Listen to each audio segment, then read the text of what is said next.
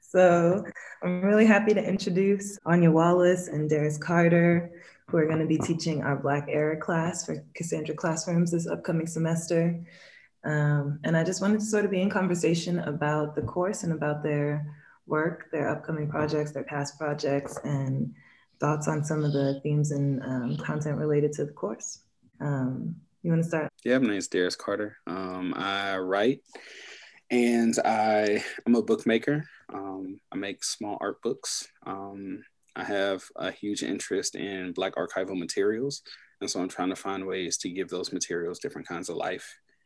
And um, wrapping up um, a couple of projects are trying to. One is called Obscene Material, um, Black Girls' Aesthetic Refusal in the Moens Scandal, where I'm writing about how Black girls survive the sexual advances of a Dutchman claiming to be an anthropologist so that he could um, access their bodies and assault them.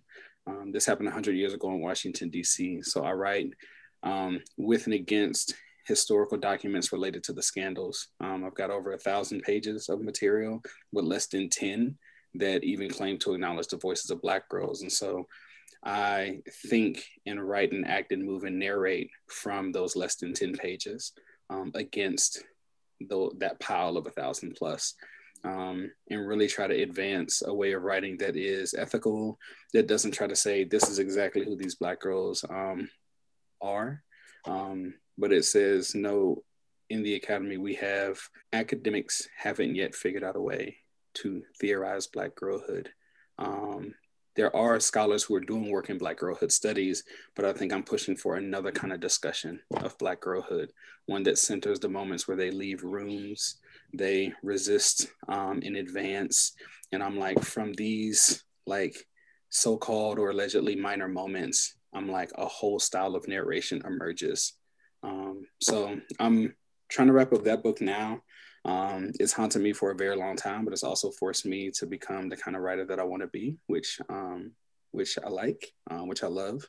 And I'm also working on um, a book called Black Girls in Archive. Um, Anya and I, Anya is one of the collaborators on that project. Um, Sharita Towne and I have been building this project using FBI documents from that scandal. We wanted to construct a book that literally required readers to take time and take care of the voices of Black girls. So um, we excerpted material from FBI records. Um, we found some of the photos that this Dutchman took and we cropped them so that you can only see the face. And we asked um, a handful of Black women poets to write poems um, based, well, poems from the perspective of Black girls. Um, and so Sharita and I have been, we've designed this 10 inch by 10 inch by 10 inch Black cube um, that's going to house each poem. Um, each poem has, um, it comes in a different form. One, for instance, written by Cheryl Clarke, is um, comes in like a two inch by three inch metal tin. And when you open the tin, um, there is a sheet of red velvet paper um, that's been cut to the size of the tin. And on that sheet of paper is um, champagne colored satin ribbon. And so you have to uncoil um, the ribbon to read the poem, which is white text. And then you have to slowly wrap it back up around your finger so that it fits right into the tin. And so each piece requires that kind of attention. You know, you have to sit with it, look at it, get an idea of how to hold it, how to take care of it, and then how to place it back in that box. And the way that we have it arranged, you can either have the the top portion on it, like the lid, or you can just have it open. So it's its own display piece. Um, those two projects are front and center in my mind. Um, and at some point, very soon, um, like the next couple weeks, I'll be turning my attention to um, a project, a short book with Bloomsbury on Marvin Gaye's album, I Want You. Um, oh. Yeah, it's part of a larger project that I'm doing called Black Revelry, which is in honor of Ernie Barnes's painting, The Sugar Shack. Um, and that has a radio show component, which is a Black Revelry Quiet Storm. Um, the last episode is this month. um, it's just a three part um, mini series. And um, hopefully, the next iteration will be a um, performance lecture. Um, it'll be a collaboration between myself, dancer, and choreographer Jennifer Harge, and also Dwayne Holland, where we'll take details from Barnes's painting um, and pair that with these mini lectures that I provide on Black music history and theory and desire. Um, yeah, and then it'll end with the art publication in Amsterdam. Cool. Cool. Thank you for having me and Derrais, and it's been wonderful to meet you and be in conversation with you um, so far. I am an art, I'm a visual artist. I um, actually in undergrad, studio art was one of my majors because I was supposed to I was supposed to do an architecture program. I was super obsessed and thought I was going to be an architect. My grandfather, I consider an architect, but he was a contractor in um, historic South Florida, the first Black contractor. And so his, um, he built the family home that we lived in. And so, like, his kind of aesthetic and like crafting was very much a part of um, my family makeup, who I am, who I've become so I, I, thought I wanted to be an architect like him. And my school didn't have an architecture program, but they like lured me in with, oh, we have this um, dual program, dual degree program with Washington University, and you'll major in studio art here, and then you'll go there your junior year and you'll finish in architecture. Um, that didn't end up happening, but I was a studio art major and I graduated and then went to graduate school once again like all right i'm about to do this architecture thing for show now. And i think i took like two semesters of architecture classes and i was like i don't like this. Um, it was a little bit too technical for me. And i found my way over to the photography department and what I like to tell, the way that I like to tell the story is that like photography was a beautiful me, um, mix, balance of the technical and the aesthetic that I think that I was craving from architecture. Because architecture itself, like classes, at least at the point I was at, was like build learning building codes and just all kinds of tedious, not fun stuff. So um, I wanted to do the not not quite interior design, but I wanted to like be a part of the artistic process of building buildings. Um, so anyway, I got into photography. I loved it. I loved the technical aspects. I loved working with chemicals. I loved being in the darkroom for days at a time. Um, measuring and you know your blacks your darks your lights. Oh my god this is so perfect for the conversation. Yeah. your sh- your grays. I was obsessed with that um, precision that came along with uh, photography but also photography. And um, what also becomes like a prominent part of the story is that my grandfather was a photographer and he took pictures like that. What he did in his free time was take pictures of his family and so there's this whole process in a, our family of like pictures being like gold treated like gold and archived and you know even picture p- pictures being stolen as like this grave offense against um, the family or the person or you know. So it's it's still a thing we're still doing it it's happening in the virtual world now but like that's the that's like the core of my artistry like technical precision and art artistic vision um, black imagination you know a lot of the stuff you just talked about, I was I just started this um, Katherine McKittrick essay on di, di, diachronic diachronic loops, dead weight, tonnage, and bad measure. Mm. Very interesting kind of like resonances in terms of like auto auto poetics, like the measure, you know, using internal measures, using like kind of an interior there's a resonance of like internal, especially like internal domestic or, or social production, you know, kind of like discrete or um, intimate social production, I think is really interesting. Um, I want to read this. Yeah, no, I just started it, but but also yeah, thinking about weights and measure. There's one section. Um, if the history Walvin uncovers is one of public racial violence and the anticipation of different instances of post-slave premature death, we would do well to think through how the seeming scientific underpinnings of modernity acts that weigh and measure and differentiate are insinuated into and push up against the knowledge systems that narrate the Zong um, the Zong. Mm. So about like measure. Yeah, we might dwell even more on the measure on the measurements that make this difficult diasporic life possible. In part because, as I also note, the practice of empirical containment provides the conditions for social theories to interrupt and undo and prop up the logic of race. I think about that a lot in terms of what you were talking about with technic- technicality and the sort of technical precision versus like like your you know even your grand the definition of your grandfather as an architect versus being a contractor. I mm-hmm. think back mm-hmm. to Theaster Gates talks about the artist and the artisan. There's a racial aspect to that. Yeah, there's a racial, there's an aspect of blackness to that contractor versus architect when I'm putting it in my story.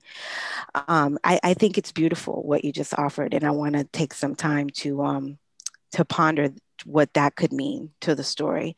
But the reason why I differentiate is first of all that's how it's told to me through the narrative the oral you know from my family members.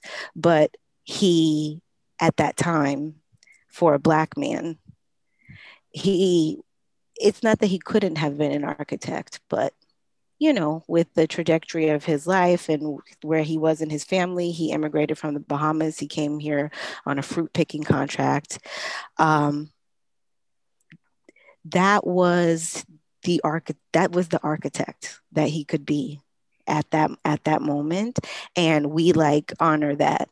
We honor that as equally as we would if he had an architecture degree. And um, i just i don't i don't there's also a picture in my mind a photograph in my mind. And my grandfather is um, maybe in his 40s and he's standing in front of his truck that he used for work. And on the truck, it reads R.G. Christie. His name was Raymond George Christie, general contractor, and then his license number. And he's like, sexy ass pose leaning back on his truck. It's in front of our house. You can't quite see the house that he built. Um, but this picture is like the iconic picture of my family that someone even captured this moment and like that we have them. So like his his business and his uh, title was under that name so we're going to use it. But he was in fact an architect you know? And even, even the story of the house um, so my, my mother is a twin and the twins uh, were his firstborn, him and my grandmother's firstborn children. When they were born, they lived in an apartment until they were about three while he was building this house in what, what is now an historic area of um, Fort Lauderdale. And the house started off as one story and I think three bedrooms. And there's a part of the house where the kitchen used to be because eventually they had more children and then they expanded. So now the house is a two story house. There's a Florida room in the back. It, um, it was eventually, it was at one point seven bedrooms, but then more people from the family have done renovations. And, and so now it's five. But like, my mom and my mom used to say this he drew plans and all kinds of stuff because at that time you didn't have the luxury especially as a black man of also having an architect design your house. So like the architecture or the, the visionary part was just as much a part of his process as act, the actual labor of laying the bricks, working with other Black men, working with Mr. Burroughs down the street, who was an electrician. And my, you know, my mom can name off these different people like, oh, Mr. So and so did the painting for daddy, or Mr. So and so um, helped lay the whatever when he when he, he was at that part. She can go throughout the city and point out houses and neighborhoods that he built um, one of the most beautiful homes in the neighborhood that I grew up in is Dr. Shirley's house that my grandfather built for him. And the legend is he never finished paying my grandpa, but it's um, like a circle. This house like is a circle. And Dr. Shirley did not design that house. R.G. Christie, general contractor, designed that house. Um, so yeah, that that was a long way of saying absolutely. Um, and I, I want to embrace what you just offered, and also like not leave behind that there was this tension, black white tension um, around that that term being used because it was I think the house was first built in 1953. Mm-hmm. Yeah, no, I mean I'm that's yeah, there's so much there. Circular house is so that sounds so cool too. I'd love to see some of the drawings from that. That sounds amazing. I need to take some pictures of these places before I leave. But it's it's a prize of the neighborhood still. Yeah, I mean, I'm just thinking back through kind of I also studied architecture for a year at Cooper and I'm just kind of thinking mm, yes. Yeah. yeah, there's a lot of like um I mean, I guess kind of also studying a lot of the famous white modernist architects, right? There's like mm-hmm. there's like they have a kind of like a genius fetish that becomes this like I equate genius and genocide, you know, like control yes, over yes.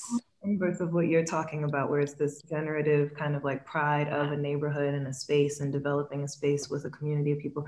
It becomes like how much marble I can quarry, how much concrete we can mass, how we can cast concrete, how we can, you know, like these these things that require also systems, colonial systems of labor that like um, you know, just and then their their legacies become like the amalgamation of certain resources and certain discourses and like Paul Williams and like the few kind of practicing black architects and how, you know, visionary and like very, I mean, Paul Williams designed some beautiful homes in LA. You know, like I don't just thinking about that that way of taking up kind of like architectural discourse as well, you know, like within the community. Yeah. It's interesting. It's really interesting.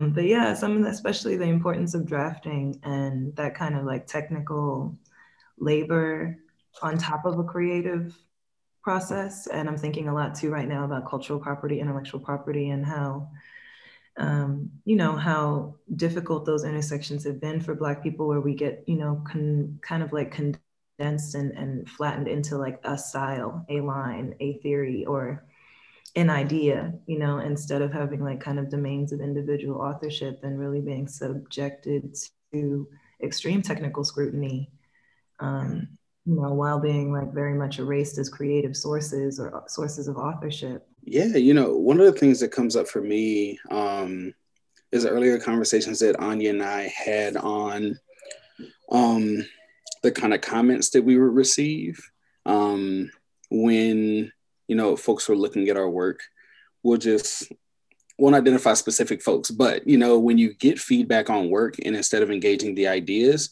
folks will default to punctuation, to all of these very technical things, which are meant to help you um, make your ideas more concise. When it's like, no, we wander and we meander, but there is a wrangling of our thought and our thought process um, on the page, such that what it is that we're communicating is more palatable um, to the reader.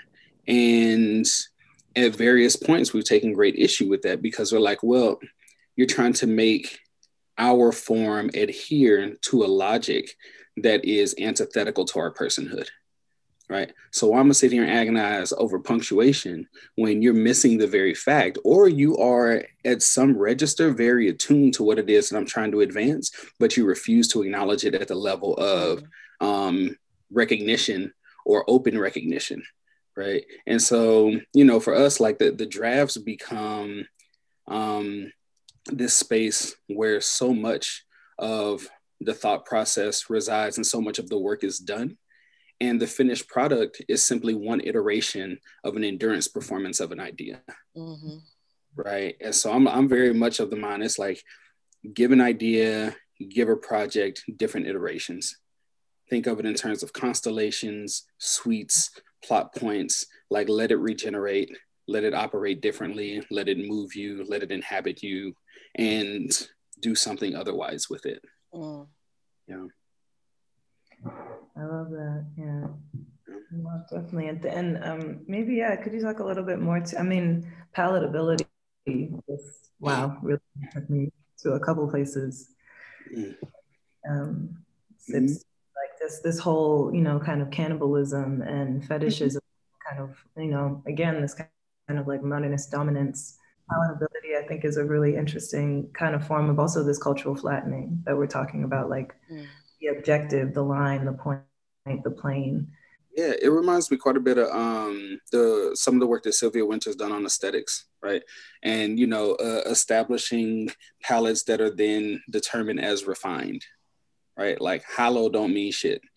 um, like it does a particular kind of work, but it don't mean shit, objectively speaking, right? Um, but there are ways that we're cultivated to have these palettes, right? Um, across media, across context, that then becomes also a discourse of authorization. It's like, well, are we going to take this seriously? Right? Generally, it's not, right? Generally, folks are like, no, we're not going to take it seriously because it doesn't adhere to, say, these genre conventions, or it doesn't adhere to the aesthetic qualities that we hope or wish to privilege, right, and perpetuate. But also, like, you know, one of the discussions we had early on was Black women historically innovating, right, um, in terms of form and idea and theory, but having those innovations be cast to the side mm-hmm. right? Save for one that every few years or so can like bubble up to the surface. But it's like for every one, there's at least dozens, right? Easily dozens, not hundreds or thousands, whose work has been dismissed because it didn't adhere to like pre-prescribed logics, right? And so that too is a part of the the taste making, right? It's the that's a part of the refinement of the palate. And so we are um, making space for that kind of work to live so that it doesn't simply gain credibility or traction when it's authorized by in like the dominant register. Like this shit don't matter all the time. I there's I so feel like mm-hmm. I want to do what I want to do. Yep. I'm an artist and Derrais and I, we talk about this all the time. I like writing on paper. I like the way my handwriting looks. I went to Catholic school for 13 years, and the nuns made sure that I knew how to write.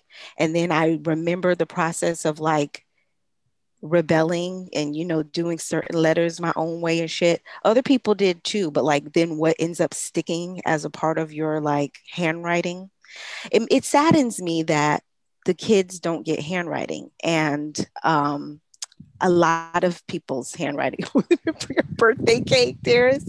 A lot of handwriting that I've seen is so um, not even elementary, just like um, it seems uh, stunted, yeah. stunted. And um, I, I like to write and I like the process of drafting because it's so artistic to me. And if you're reading my work, if you're interested in reading my work, if you're interested in judging my work, I would like you to be a part of that process. Like, look at this page of notes I just took. It is so cute. um, should we take a picture of this or whatever? Like, there's a hoarding part of me too that's like, don't throw that away. That's cute. I mean, I know there's going to be like other iterations of the editing, whatever, but no, just leave it, leave it, you know? And I think that there's a fear around that. There's a um, anxiety. I think people have felt intimidated. People have felt straight up scared. And then you get defensive and mean. So it's like, well, how can I you know, cut this, cut you back down to size to make you know that you don't know everything or whatever. But like, you can't argue with me over what I saw, I imagined. This is what I did. Yeah, no. We could talk about what you did also, but let's talk about the thing or I don't need you. I mean, I'm just, it just brought me to like recognition, this idea of recognition, and um, even thinking about two things. Like one is graffiti. There's like we, we you know we, we just did a project in Pompeii looking at, at graffiti and like kind of left like um, residual graffiti from pre-Roman cultures actually there. And then just this rich like history of like kind of interacting with electoral candidacy signs via graffiti that I think well, that kind of mark making as a means of like mm. of of you know the political class or it's like a social site of the political class a record of the political class of like the you know the non-citizen class especially.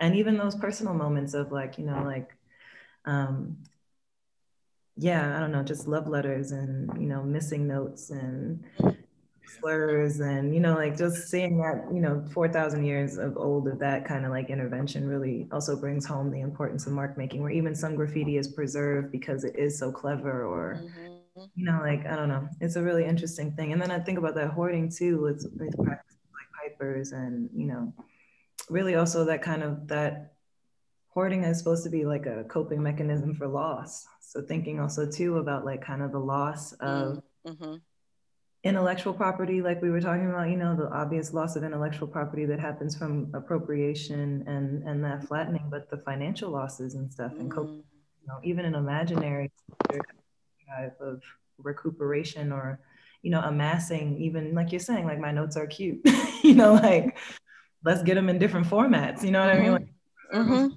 conversations you know and that that i think is a very um, maybe y'all can talk about it but that almost feels like a counterintuitive place to be for a black mark maker you know we're mm. so expected to give away our lines to not mm-hmm. hoard, you know, not hoard our, uh, our our thoughts even you know like um, and for our almost for our mark to be like even our mark in its illegibility has such carries caricature you know that kind of social recognition and caricature maybe y'all could talk a little bit more about mm.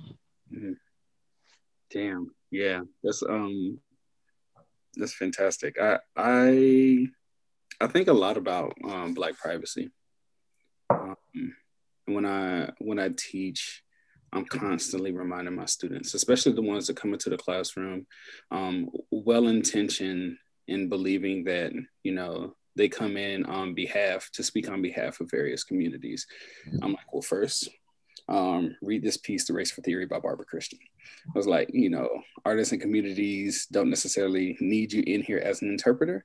Um, you could do a different kind of work, and I'm trying to help y'all create a space to think differently around your presence here, um, but also to think very critically about what you don't need to offer up to the to the academy specifically.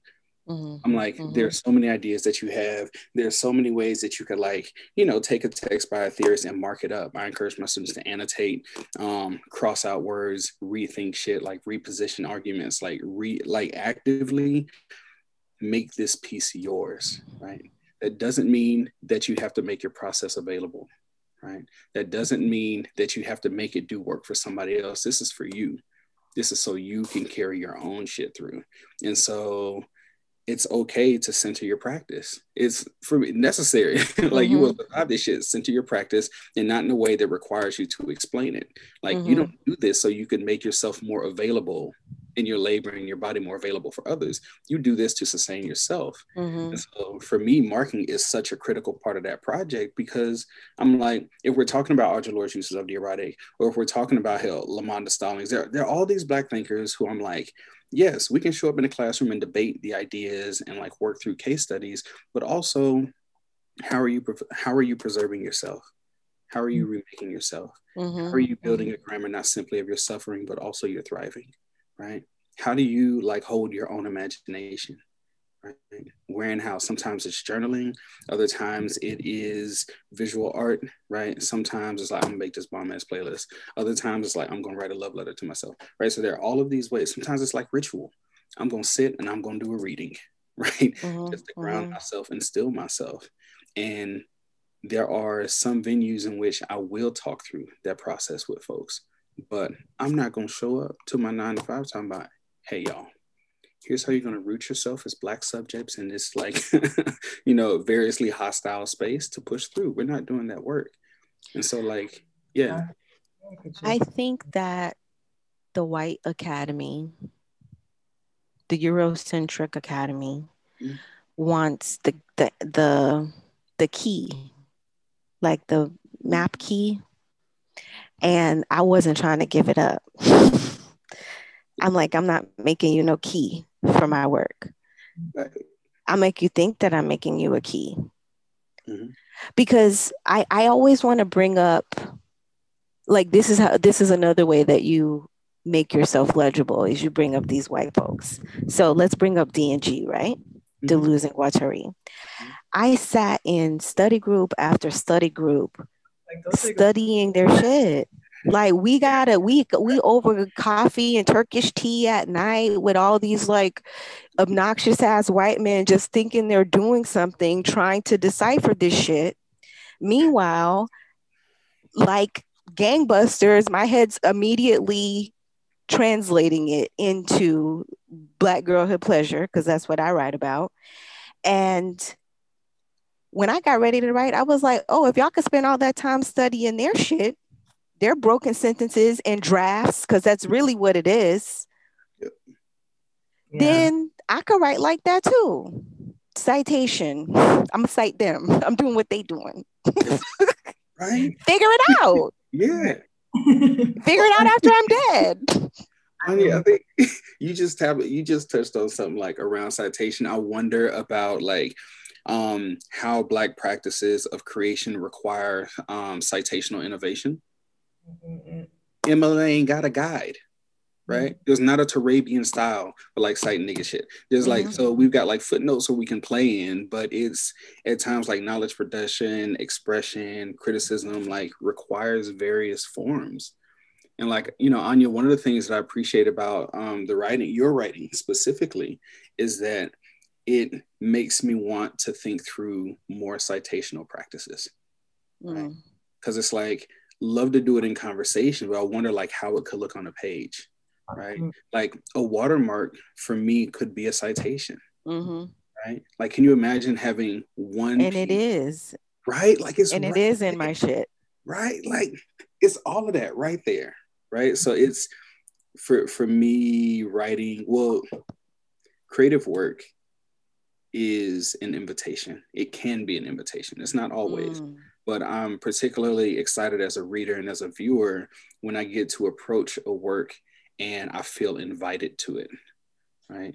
Um, I feel broken open. I feel like I, that's a hole that I've fallen into. Mm-hmm. And I'm like, cool, I'm just going to wait here for a while. Mm-hmm. And I don't know if I'm going to make it out on the other side. I don't know if there is another side, but this space, I'm just going to be in it. Mm. Yeah. I think that's my goal in writing. I mm-hmm. want you to read every word. Like I want you to experience every word. Mm-hmm. And that is a part of my performance practice when I'm letting words hit the page or the screen. I know I don't like to read. When people make them long posts on Facebook or, um, you know, whatever six mm-hmm. books you had to read for next week's global feminism class like I hate reading and we're trying our best to like figure out a way to skim it and just get the point. You know what I mean? Memes provide that for us now quite a bit. Like we're used to reading in these like snidbit, tidbit type ways. Um, I think we do the same thing when we read actual text or these journal articles or shit. Like this shit's boring. But I'm over here like, let me figure out how to mm. go the other way. Mm-hmm. Mm-hmm. I act, I do want you to read when when I take the time to write, and it I say it's done or I say ready to share or send or whatever. I want you to read everything that I wrote. Mm. So that desire is going into not only my writing but also my citational practice and the way that i i was never like traditionally trained in poetry. I mean, I've taken a few poetry classes here and there, whatever. All of these citational things, like, yeah, you've used them. MLA, I think, was more of the high school thing. Um, in art education, we use APA. I've tried Chicago and stuff. So, like, yeah, I've used them. I'm not completely just up here like, oh, I don't want to do that because um, I never, I don't know how, and it scares me. But the whole point of it and different styles of writing poetry from haiku to whatever is to not only get your reader to read, but to experience what you're needing them to experience. You need them to pause. You need them to know that you weren't the first person that said this, somebody else did, or you want them to know that there's more to this idea, but that doesn't really go with where I'm trying to go right now. So I just do it. I just do that. And mm-hmm. I, as if I'm painting a painting, I make that a part of my process. I don't have the months to spend on memorizing the APA book manual, and I have six of them. After a while, that's getting in the way of my process mm-hmm. of trying to make markings based upon what I'm imagining and seeing that's happening very quickly and fleeting and all this stuff, and to get you to read it and yeah. to experience it with me. Let an editor do that. Let a copy editor do that. Yeah. Way down the line. And I don't want that job. So yes, I'll pay you for that. Mm-hmm. But don't hold me up when I'm trying to make art with that. You know, it's really interesting too. I've been thinking so much about, um, you know, the economic effects of, of the deprivation, basically, of like having intellectual property and like kind of codified intellectual property, which is like what I'm kind of learning is essentially a spoil of war, you know, and a spoil of conquest, um, and really, really deviated by military review, like mm. designated by military review. So, like, if we look at like things like the Lieber Code from like um, from like like develops out of like the Emancipation Proclamation that deals with like um, you know what kind of like cultural property slaves own or what cultural property enslaved people were responsible for. There's like, I mean, I'm just going to read some of this part of a uh, KJ Greene, Intellectual Property at the Intersection of Race and Gender. Lady Sings the Blues. Mm-hmm. So this is kind of about the, um, it's it's now critical race theory, so kind of law theory.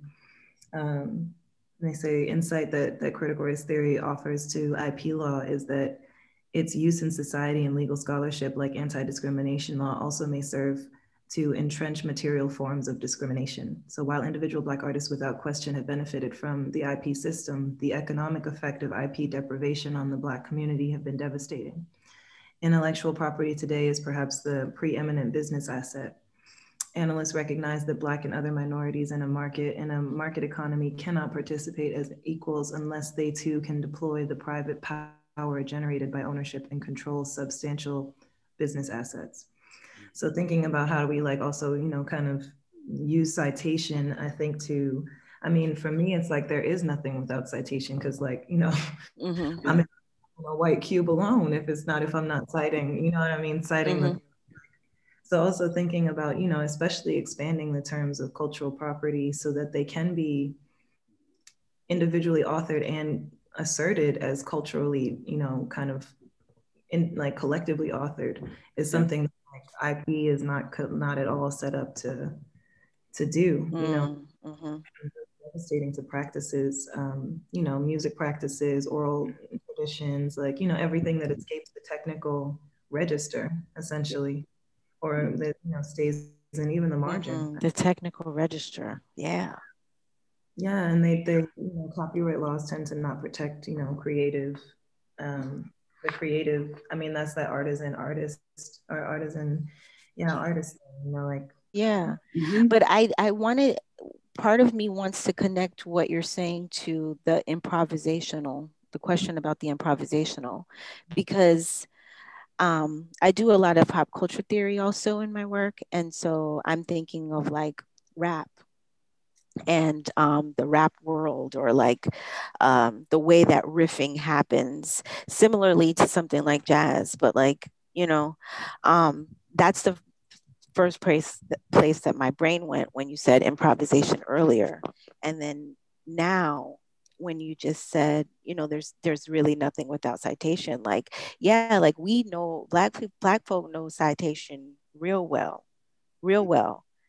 And there's a way to I, I think i'm a believer of the there's no original thought school. Mm-hmm. so instead of being mad that i didn't get to say it first or mark it first my job as an artist is to do what i do with it because only i can do what i can do. Only Derrais can do what he can do with that thing. And that is the like good that's the good rap. That's the good jazz that's the good moments of improvisation when you know how to like give people their shine their nod and also like um flatter like i could do it too but i'm gonna do it this way I'm going to do it Anya's way. Mm-hmm. Right. And I mean, it's so important too, I think.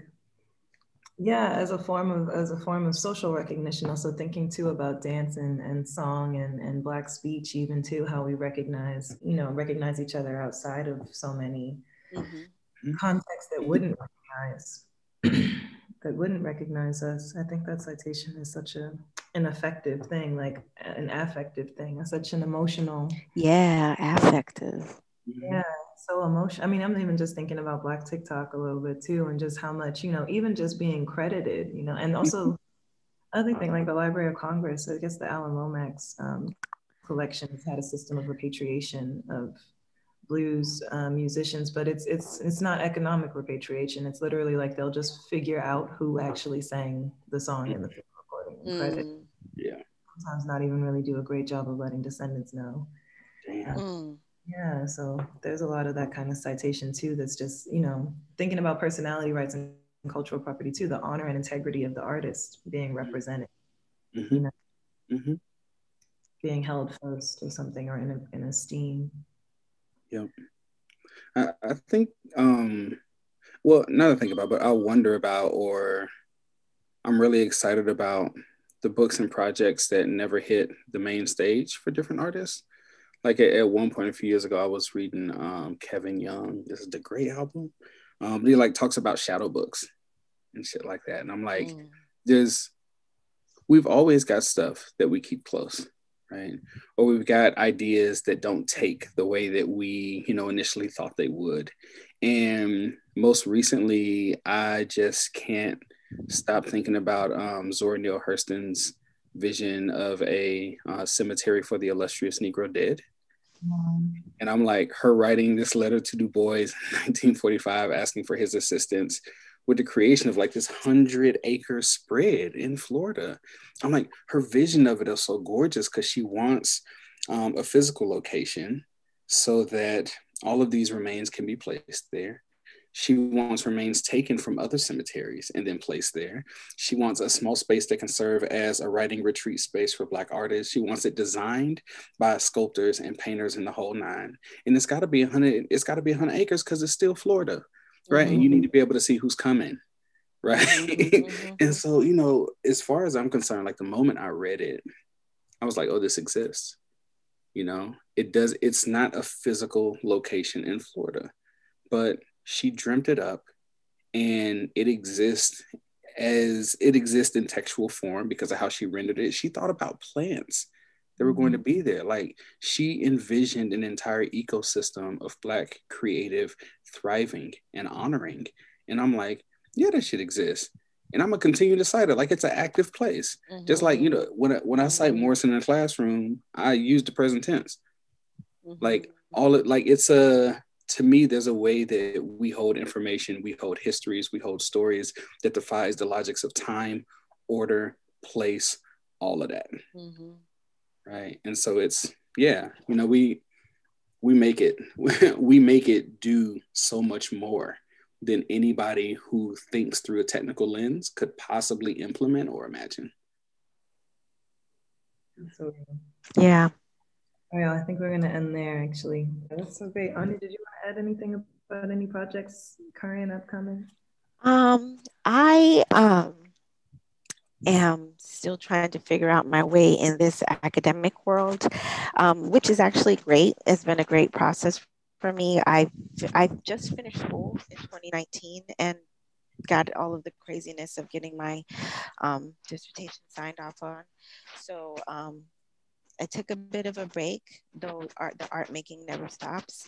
And then um, this fall, I began teaching with the School the Art Institute in Chicago and um, it's just on a part-time basis right now um, and i add that because i think this is a part of my process of like uh, making myself right now into the kind of in, into the way that i want to participate in this world and then you know some traumas and things have also happened that remind me i don't want to just do it where i give over all of myself and my labor without um, having any say so so um, I, I and i'm enjoying I'm enjoying the process of figuring out. So I'm teaching with SAIC.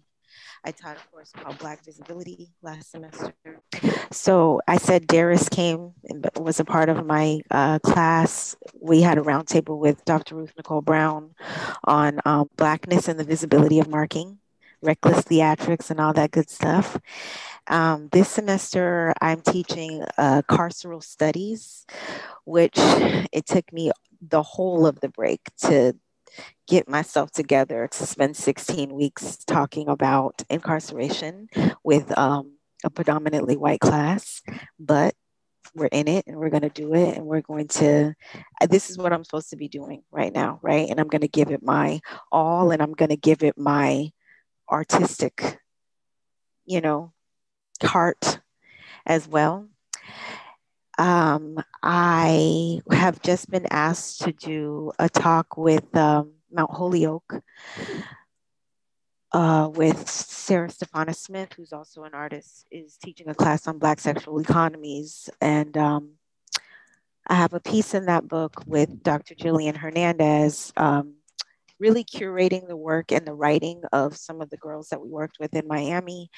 And um, Sarah has is mapping her course around the chapters, the sections in the Black sexual economies um, anthology. So, what she's asked me to do is to speak and try to connect the carceral aspect, which really I have a chapter in my dissertation on um, having worked with girls in juvenile detention um, and what I consider the Black female body bureaucracy. So, the relationship between Black bodies, period, guards, girls, myself as a um, program facilitator, the preacher that comes on Monday nights to talk to them, all of those interactions of black femme bodies and like what what that what the economy of that is. Um, so I'll be I'll be figuring out a way to connect um, those things for the Mount Holyoke talk in April. I'm doing Black Err/Or with Cassandra Press and I'm excited to continue to like see this thing take take shape with Derrais. Um, this has been a great conversation, and it also reminds me of a lot of the conversations he and I have had already. So it's just it's nice to kind of see it shaping up and filling out. And I'm here with my family, trying to spend a couple months and get loved up on and get get in fights with people and all that stuff but I'll be going back to Pennsylvania in the next week or so, um, where my studio practices, and I have a beautiful studio that I love to work from to lay some things down. I look forward to seeing all of it. I'm super looking forward to y'all class. Yeah, this was great. Thank so you. Black Err/Or is going to start sometime in the first week of March. I'm super excited to see where you take the course and to see the you know reactions of the students with everything really happy to joining the classroom team. yeah, thank you so much. Yeah, we really appreciate it. Yeah, seriously. And thank you again for being a part of this.